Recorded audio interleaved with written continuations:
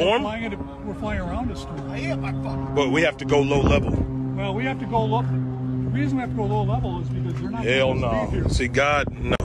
The come up for Druski 2 Funny has been a wild ride since posting his first skit to IG back in 2017. Since then, he has appeared in a Drake, Lil Yachty, and Jack Harlow music video, while also sleeping at Odell Beckham Jr.'s house. His latest bromance has been sparked up with the boys of Nelk, but on a recent attempt to board a private jet, the pilot had some bad news for Druski. Um, I was hoping you would get up and go to one of the seats closer to the front of the cabin, Why you say that? just because for weight balance.